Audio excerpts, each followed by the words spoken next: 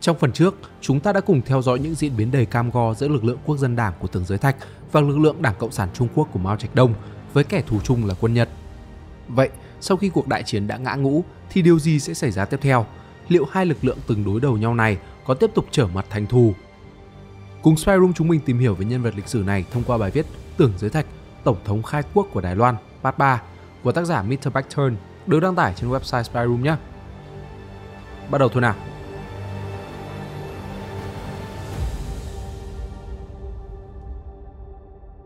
Nội chiến lần 2 Tháng 8 năm 1945, Tưởng Giới Thạch gửi điện hẹn Mao Trạch Đông đến Trùng Khánh hội đàm. Mao Trạch Đông lưu lại đó hơn một tháng rồi về Diên An. Ngày 14 tháng 8, Tưởng Giới Thạch gửi điện mời đầu tiên, viết rằng Nhật Bản đã đầu hàng, cục diện hòa bình vĩnh viễn cho thế giới có thể thực hiện. Các vấn đề trọng yếu của quốc tế và quốc nội cần được giải quyết gấp. Mời Mao đến Bồi Đô cùng thương thảo. Dưới áp lực dư luận quốc tế và quốc nội, ngày 31 tháng 12 năm 1945, Tưởng Giới Thạch buộc phải ký kết hiệp nghị về biện pháp đình chỉ xung đột quân sự quốc nội. Tháng 3 năm 1946, Hoa Kỳ trao huân chương công lao hạng đặc biệt cho Tưởng Giới Thạch. Tháng 4, ông lần lượt đến Quý Dương, Thành Đô thăm hỏi dân chúng. Tháng 5, chính phủ quốc dân rời đô về Nam Kinh, Tưởng dẫn nhân viên dân sự và quân sự trước lăng Tôn Trung Sơn cử hành lễ thắng lợi hoàn đô. Ông diễn thuyết với dân chúng thủ đô về tính cấp thiết của việc kiến quốc sau chiến tranh. Tháng 6, ông lần lượt tuần thị Thẩm Dương, Trường Xuân, Bắc Bình. Ngày 16 tháng 6, ông thiết lập trường quân sự hải quân tại Thượng Hải, bản thân kiêm nhiệm hiệu trưởng. Lúc 8 giờ sáng ngày 18 tháng 3 năm 1946, Tưởng Kinh Quốc đến Cờ Long, lần đầu tiên đặt chân lên đất Đài Loan, do tư lệnh Sử Hoành Hy đi cùng thị sát. Tháng 9, Tưởng Giới Thạch tiếp kiến đoàn thăm hỏi từ Đài Loan. Tháng 12, Tưởng Dưới Thạch và nhân sĩ Đảng Thanh niên Trung Quốc cùng Đảng Dân Chủ Xã hội trao đổi ý kiến về cải tổ chính phủ quốc dân. Tháng 2 năm 1947, Tưởng Dưới Thạch tuần thị Từ Châu, Trịnh Châu đều trở về Nam Kinh trong ngày. Ngày 28 tháng 2, Đài Loan phát sinh sự kiện náo loạn. Mâu thuẫn được châm ngòi vào ngày 27 tháng 2 năm 1947 khi cảnh sát bắn chết một phụ nữ trong chiến dịch truy quét thuốc lá lậu. Tưởng Giới Thạch tuyên bố phương châm xử lý và gửi lực lượng đến hỗ trợ toàn quyền Đài Loan Trần Nghi chấn áp các cuộc nổi dậy. Trong cuộc chấn áp, quân đội Tưởng Giới Thạch đã thảm sát hàng chục ngàn người. Đến ngày nay, vẫn chưa có thống kê chính xác về số người thiệt mạng trong các cuộc chấn áp và truy quét, ước chừng từ 18 đến 28 nghìn người. Có số liệu khác cho rằng số người thiệt mạng là hơn 30 nghìn người. Tưởng Giới Thạch có ra lệnh tàn sát dân chúng hay không vẫn luôn là câu hỏi của nhiều người. Sự kiện này được lịch sử ghi lại bằng cái tên Sự kiện 28 tháng 2. Tháng 1 năm 1947, George Marshall trở về Hoa Kỳ. Trước đó, ông từng liên hệ vấn đề Hoa Kỳ cho Trung Quốc vay mượn với việc cải tổ chính phủ. Nên không nhận được viện trợ vay mượn. Cùng với đó, dư luận đều cho rằng Trung Quốc có thể sẽ bị bắt nạt.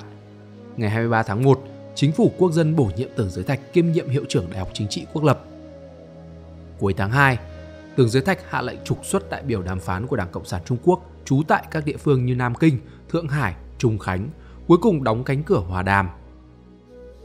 Ngày 1 tháng 3, Tưởng Giới Thạch chủ trì cử hành hội nghị Ủy ban Quốc phòng tối cao, quyết định chuẩn thuận Viện trưởng Hành chính Viện Tống Tử Văn từ chức, Tưởng Giới Thạch kiêm nhiệm Viện trưởng Hành chính Viện, Trương Quần nhậm chức Phó Viện trưởng, Đại học Chính trị Trung ương và Trường Cán bộ Trung ương hợp nhất cải tổ thành Đại học Chính trị Quốc lập, Tưởng Giới Thạch kiêm nhiệm hiệu trưởng. Ngày 4 tháng 7, tại hội nghị toàn quốc lần thứ 6 thông qua đề nghị của Tưởng Giới Thạch về tổng động viên toàn quốc nhằm bình định cộng sản. Sau đó lại công bố lệnh diệt cộng dẹp loạn. Ngày 18 tháng 5, Tưởng Giới Thạch ban bố thư thông cáo đồng chí đảng đoàn kêu gọi hợp nhất tổ chức đảng đoàn tạo thành động lực dẹp loạn kiến quốc, đặc biệt là trong bối cảnh cấp thiết đương thời. Ngày 29 tháng 11, Tưởng Giới Thạch đi máy bay từ Bắc Bình về Nam Kinh. Tháng 7 năm 1947, Hội nghị Quốc vụ thông qua thi hành phương án tổng động viên toàn quốc. Tưởng Giới Thạch đích thân chủ trì, đồng thời phát biểu cần phải thực thi tổng động viên toàn quốc để cứu giúp nhân dân trong khu vực cộng sản chiếm lĩnh, bảo vệ sinh tồn dân tộc, củng cố thống nhất quốc gia, dẹp yên Đảng Cộng sản Trung Quốc, thực thi hiến chính theo kế hoạch. Tháng 11, Tưởng Giới Thạch được bầu làm đại biểu quốc dân đại hội đại diện cho huyện Phụng Hóa quê nhà. Ngày 4 tháng 4 năm 1948, Tưởng Giới Thạch lấy thân phận tổng tài chủ trì triệu tập đại hội toàn thể Trung ương Quốc dân Đảng, thảo luận đề cử tổng thống, ủy viên Trung ương nhất trí ủng hộ Tưởng Giới Thạch là ứng cử viên tổng thống. Tưởng Giới Thạch phát biểu, Tổng thống khóa 1 không nhất định bầu ra từ trong đảng ta, cần bầu người ngoài đảng, người ngoài đảng có các điều kiện sau đây có thể được bầu. Trung thành với hiến pháp, nỗ lực thi hành hiến chính, có tinh thần dân chủ, có tư tưởng quốc gia dân tộc, có nhận thức sâu sắc đối với văn hóa lịch sử Trung Quốc. Ngày 19 tháng 4, Quốc gia Đại hội khóa 1 bầu cử Tổng thống, Tưởng Giới Thạch được bầu làm Tổng thống thứ nhất của Trung Hoa Dân Quốc. Ngày 20 tháng 5, Tưởng Giới Thạch tại lễ đường Quốc dân Đại hội nhậm chức Tổng thống. Tháng 7, Tưởng Giới Thạch đi máy bay đến Tuần Thị huyện Kỳ. Tưởng Giới Thạch đi máy bay đến Tuần Thị huyện Kỳ, từ Châu có chỉ thị về chiến sự khu vực ngập lụt Hoàng Hà. Ngày 31 tháng 12 năm 1948, Tưởng Giới Thạch triệu tập nhân sĩ trọng yếu trong đảng, chính quyền và quân đội, nghiên cứu văn cáo từ chức, soạn bốn dự thảo. Năm 1949, tình thế chiến tranh quốc cộng chuyển biến xấu cho phái quốc dân đảng, chức vụ tổng thống của Tưởng Giới Thạch vừa mới có được do quân sự chính trị thất bại toàn diện nên lung lay. Ngày 24 tháng 1, Trung ương Quốc dân Đảng ra thông báo tuyên truyền khẩn cấp đặc biệt. Trung ương Quốc dân Đảng ra thông báo tuyên truyền khẩn cấp đặc biệt, nói rằng tổng tài tuy tạm không thi hành chức quyền tổng thống, song vẫn dùng địa vị tổng tài lãnh đạo bản đảng. Mâu thuẫn tăng cao. Tháng 3 năm 1947, Tưởng Giới Thạch hạ lệnh hơn 20 vạn người dưới quyền Hồ Tông Nam tiến vào miền Bắc, Thiểm Tây. Ngày 19 tháng 3 chiếm lĩnh Diên An, song nơi này đã bị bỏ hoang nên thắng lợi là không thực sự. Tháng 7, Tưởng Giới Thạch tuần thị khai phong. Tháng 8, ông tuần thị Diên An. Tháng 9, Tưởng Giới Thạch từ cổ lĩnh trở về Nam Kinh, quyết định vấn đề hợp nhất đảng và đoàn thanh niên. Hội nghị thông qua cương lĩnh tổ chức Trung Quốc Quốc dân Đảng hiện hành, thực thi thống nhất tổ chức đảng đoàn nhằm tăng cường lực lượng cách mạng. Ông cũng tuần thị Bắc Bình, Thẩm Dương. Tháng 10, Tưởng Giới Thạch đến Thanh Đảo tuần thị. Sang tháng 11, ông lại đến tuần thị Bắc Bình, lập quy hoạch tiêu diệt lực lượng quân sự của Đảng Cộng sản Trung Quốc, đồng thời tập hợp nhân sĩ giới giáo dục Bắc Bình đàm thoại. Tháng 12, ông tuần thị Vũ Hán chỉ thị công tác phòng thủ. Chi tiêu quân sự lớn khiến tài chính kinh tế bên bờ sụp đổ, thiếu hụt ngân sách vào năm 1947 đạt đến 90% tổng chi ngân sách, gây ra lạm phát phi mã và vật giá tăng cao. Tháng 1 năm 1948, Tưởng Giới Thạch tiếp kiến nhân sĩ biên cương chùa La Brang, tỉnh Thanh Hải, lắng nghe tình hình chính trị biên cương và đau khổ của nhân dân vùng biên. Cùng tháng ông đi tuần thị Thẩm Dương. Tháng 2, Tưởng Giới Thạch tuần thị Bắc Bình. Tháng 4, ông tập hợp các hiệu trưởng đại học đến Nam Kinh, hỏi thăm tình hình các đại học, đồng ý tìm cách gia tăng kinh phí giáo dục. Tưởng Giới Thạch lệnh cho quốc quân, cảnh sát, hiến binh và đặc vụ tăng cường thống trị và trấn áp. Khu vực do chính phủ Trung Hoa Dân Quốc kiểm soát lâm vào khủng bố trắng. Ngày 28 tháng 6, Tưởng Giới Thạch từ Tây An qua Trịnh Châu đi máy bay về Nam Kinh. Tháng 10, Tưởng Giới Thạch đến Bắc Bình triệu tập hội nghị tướng lĩnh cao cấp, đồng thời lần lượt tuần thị công tác phòng thủ Thẩm Dương, Lư Câu Kiều, Thiên Tân, Đường Cô, Hồ Lô Đào. Ông lại đến tuần thị Thẩm Dương, Bắc Bình, tuần thị Thừa Đức rồi Bắc Bình về Nam Kinh. Tài chính kinh tế hoàn toàn phá sản, tiền giấy kim viên khoán nhanh chóng bị giảm giá thành giấy vụn, xã hội càng thêm náo loạn bất ổn. Tháng 12, Tưởng Giới Thạch ban lệnh toàn quốc thi hành giới nghiêm. Tống Mỹ Linh cùng tháng hội kiến Tổng thống Hoa Kỳ Harry Truman. Lý Tông Nhân trình tiềm thừa cơ tình thế quân sự nghịch chuyển, bỗng chủ trương hòa đàm và Bạch Sùng Hy từ Hán Khẩu gửi bức điện hợi kính thúc giục chính phủ kiến tạo hòa bình, thực ra là buộc Tưởng Giới Thạch từ chức. Tháng 1 năm 1949, Tưởng Giới Thạch tiếp kiến Tôn Khoa, Trương Quần, thương lượng cục thế chính trị. Ngày 10 tháng 1, ông lệnh cho ngân hàng trung ương lấy vàng dự trữ trong kho rời sang Đài Loan. Khi tưởng giới thạch khảo sát về việc từ chức, cũng cùng với thiểu số thân tín thảo luận về vấn đề pháp luật, làm thế nào để bảo lưu chức vụ tổng thống. Ngày 21 tháng 1 năm 1949, trong hội nghị lâm thời Ủy viên Thường vụ Trung ương Quốc dân Đảng, Tưởng Giới Thạch tuyên bố tạm thời rút lui, đồng thời ra tuyên cáo. Đến buổi chiều, Tưởng Giới Thạch đi chuyên cơ rời Nam Kinh đến Hàng Châu, về quê nhà tại Phụng Hóa. Ngày 22 tháng 1, Tưởng Giới Thạch về đến quê nhà Khê Khẩu.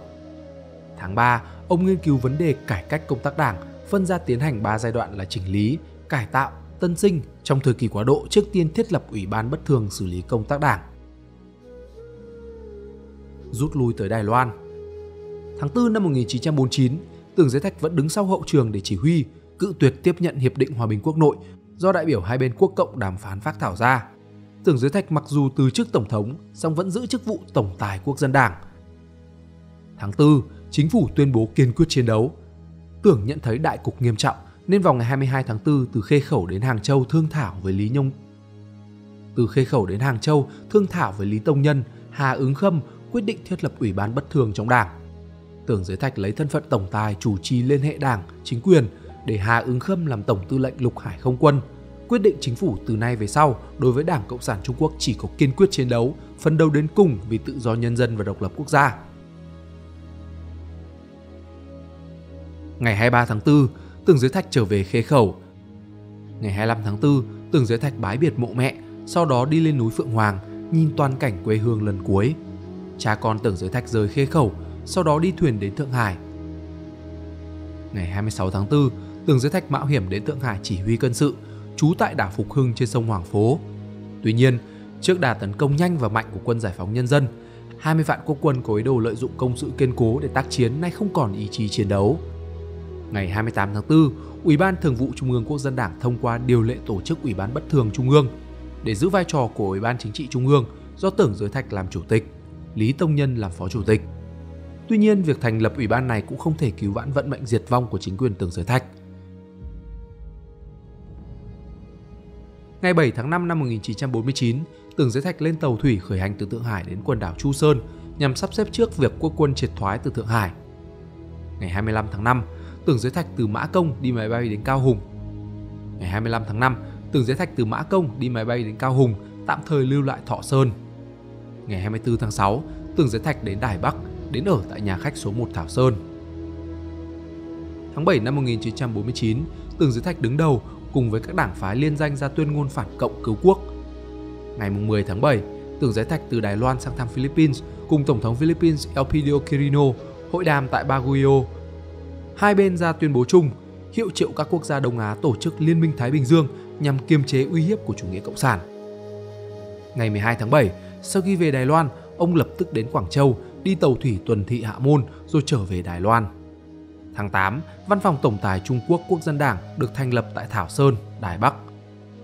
Ngày 16 tháng 7, Tưởng Giới Thạch lấy thân phận tổng tài triệu tập Ủy ban Bất thường Trung ương Quốc dân Đảng, quy định nếu không qua ủy ban này phê chuẩn, toàn bộ sắc lệnh của chính phủ quốc dân đều vô hiệu. Ngày 3 tháng 8 năm 1949, Tưởng Giới Thạch đến Định Hải thuộc Chu Sơn. Trong cùng tháng, Tưởng Giới Thạch lại đến Quảng Châu triệu tập hội nghị quân sự, phát thảo kế hoạch phản công. Ông cũng bay đến Trung Khánh, chủ trì hội nghị nhân viên quân chính. Từ Trung Khánh đến thành đô Tuần Thị, ở lại trong 5 ngày rồi về Trung Khánh.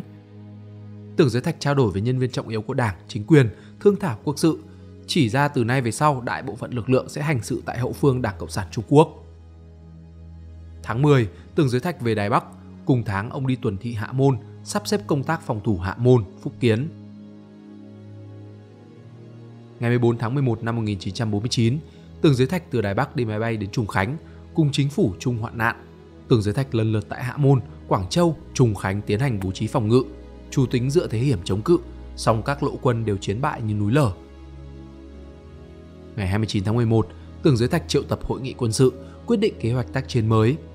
Tiếng súng bùng lên, xưởng công binh phát nổ, bèn quyết định đến sân bay. Ngày 30 tháng 11, Tưởng Giới Thạch đi máy bay đến Thành Đô, ở tại trường quân sự Trung ương. Ngày 6 tháng 12 năm 1949, Tường Giới Thạch hẹn gặp Khâu Sương Vị và Lưu Sĩ Nghị, đề nghị hai người theo chính phủ đến Tây Sương trước. Đến tối, Tường Giới Thạch nhận thấy Tây Sương quyết không thể làm nơi chính phủ quốc dân lưu lại. Ngày 7 tháng 12, Tường Giới Thạch chỉ thị Diệm Tích Sơn chuẩn bị đến tối thì rời khỏi thành đô. Tường Giới Thạch lập tức quyết định chính phủ quốc dân rời đến Đài Bắc, chỉ thị hành chính viện triệu tập hội nghị khẩn cấp. Đến tối, hành chính viện cử hành hội nghị thông qua việc chính phủ quốc dân rời đến Đài Bắc, tức thì ban bố lệnh tổng thống. Chính phủ chuyển đến Đài Bắc, đồng thời lập đại bản doanh tại Tây Sương, thông soái lục hải không quân tại đại lục chỉ huy tác chiến. Ngày 10 tháng 12, Tưởng đi máy bay đến Đài Bắc. Thời kỳ sau này,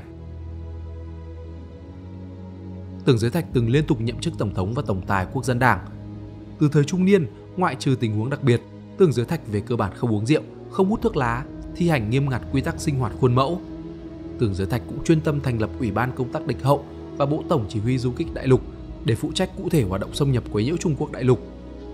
Tường Giới Thạch sinh hoạt gần như bùn xỉn, số táo ăn phải được kiểm kê, một bộ y phục thông thường mặc trong 5-6 năm, lúc bình thường không mặc y phục có chất liệu cao cấp, trừ trường hợp cá biệt đi thăm viếng thì không mặc âu phục.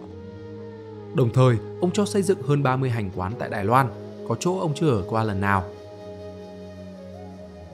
Tưởng Giới Thạch nghĩ cách khiến Lý Tông Nhân về Đài Loan từ chức, song họ Lý dùng nhiều biện pháp để thoái thác.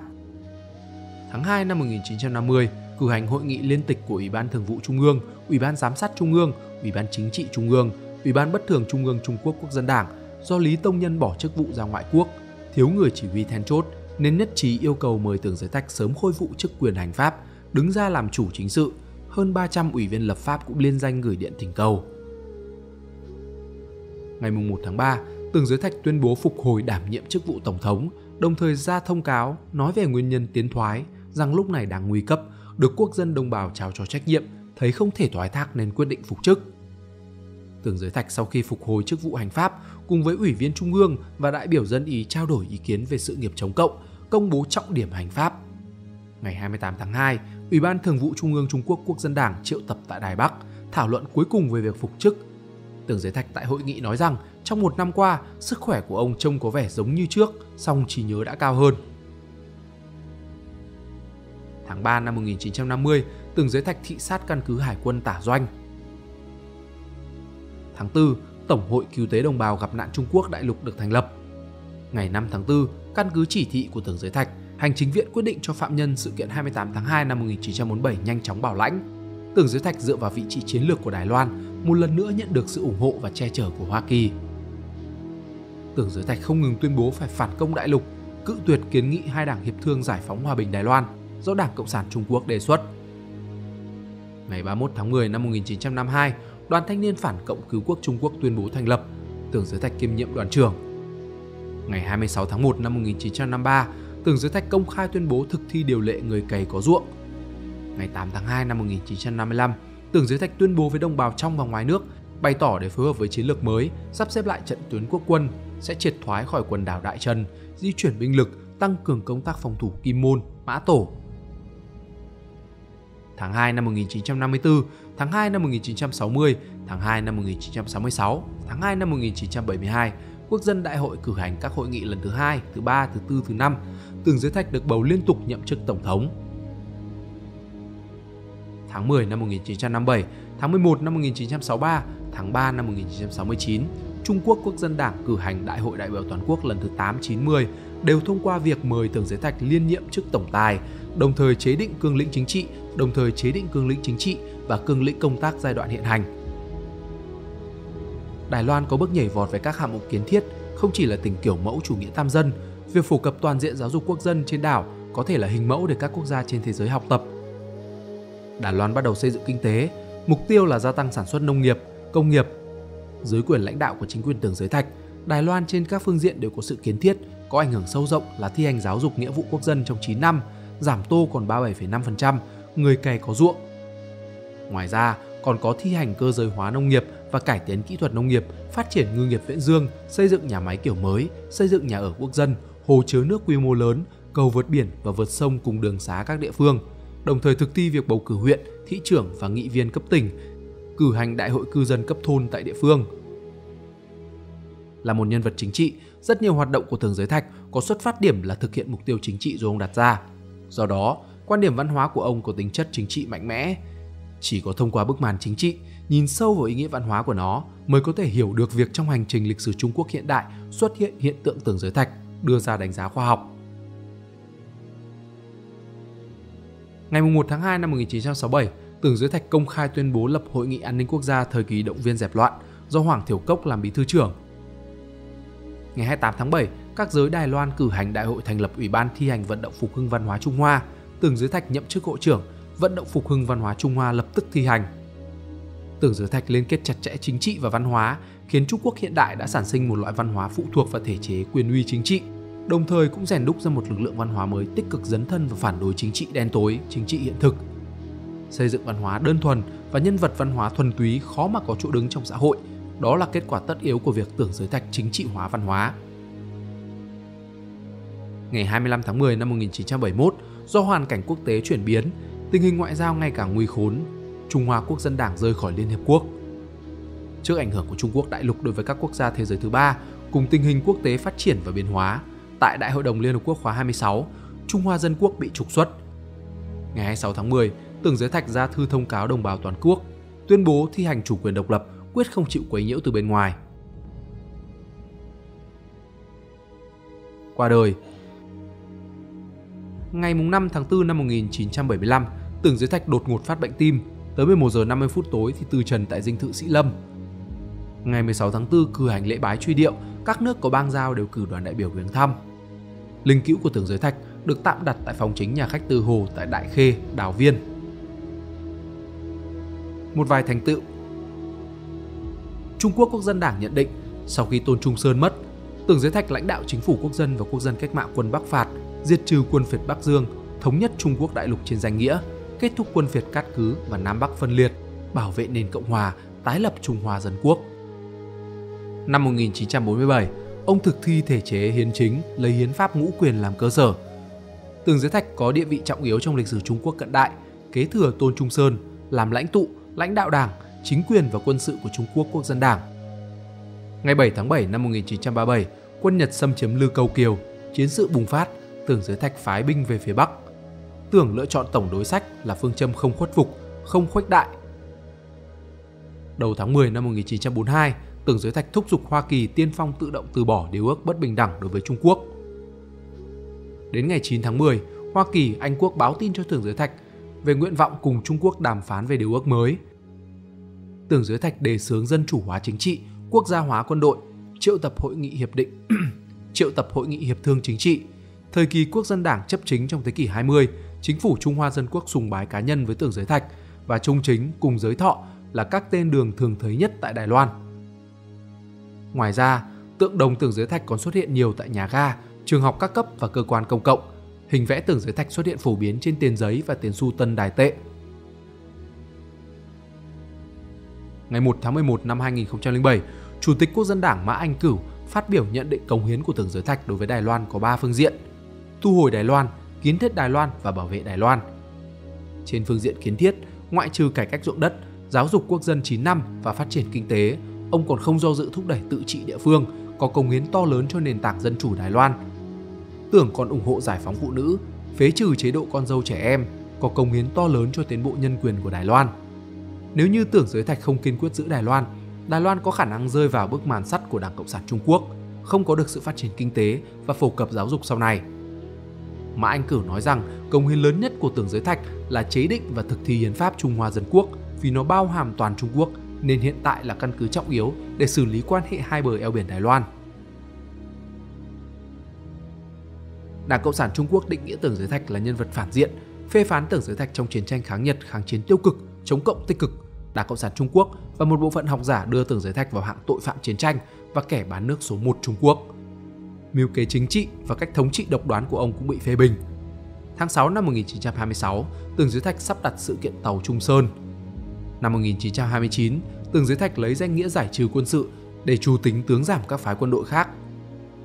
Sau sự kiện ngày 18 tháng 9 năm 1931, Tưởng Giới Thạch nhượng bộ chủ nghĩa đế quốc Nhật Bản xâm lược vũ trang, trong khi gia tăng chấn áp Đảng Cộng sản Trung Quốc. Tưởng Giới Thạch cho rằng muốn dẹp trừ ngoại bang phải an định quốc nội trước, tiếp tục nội chiến chống cộng, lần lượt tiến hành 5 cuộc vây diệt căn cứ địa cách mạng và Hồng quân công nông của Đảng Cộng sản Trung Quốc.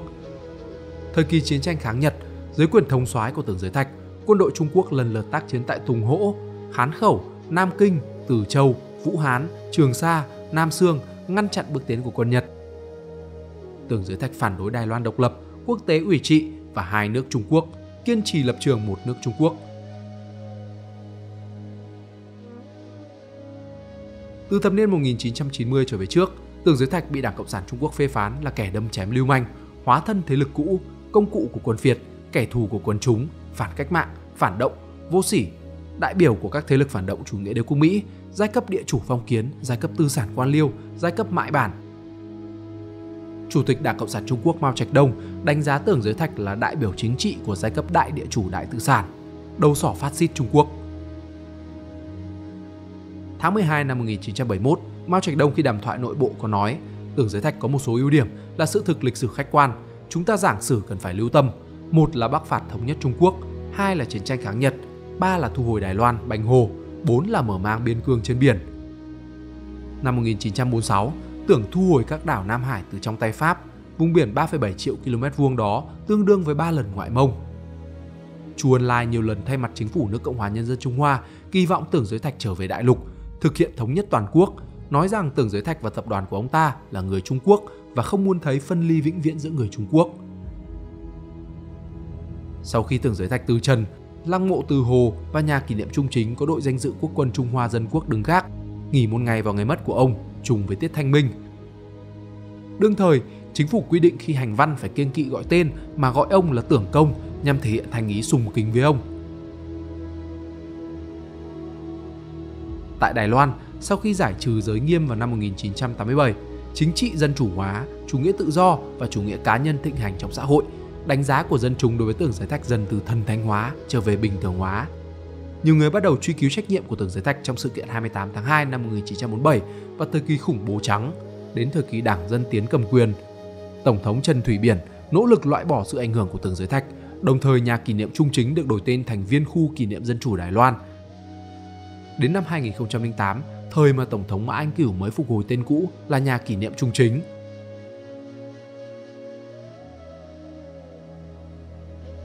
Kết như vậy, chúng ta đã đi qua cả 3 phần của loạt video Tưởng Giới Thạch, Tổng thống khai quốc công thần của Đài Loan. Các bạn có cảm nghĩ thế nào về cuộc đời của nhân vật đầy thú vị này? Đừng quên like, share cho video nếu thấy hay và subscribe hay để lại một comment bày tỏ quan điểm của các bạn nhé. Mình là Việt Anh, xin chào và hẹn gặp lại.